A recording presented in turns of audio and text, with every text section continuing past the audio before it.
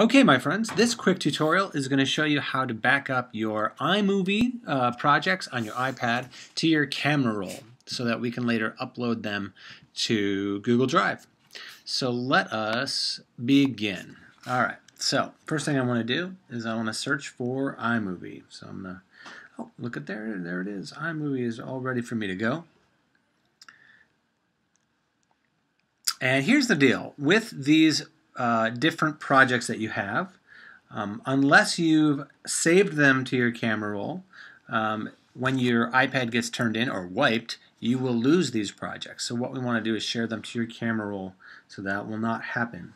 Uh, so I have a couple of these I have not done this with, and one of them is this particular movie right here.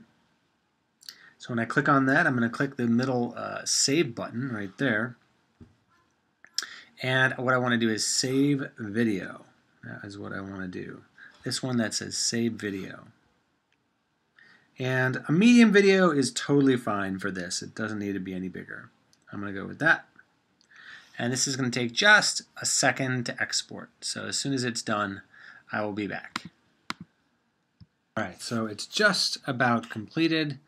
Uh, as soon as that completes, you'll see um, then the next step, actually this is pretty much it. But we want to just double check the camera roll and make sure it's in there when it is. Okay, it says it was exported to camera roll. Great. So let's just double check. Um, I can go to my uh, photos. Take a look at my camera roll. And there we go. There's my movie right there on the bottom. Awesome.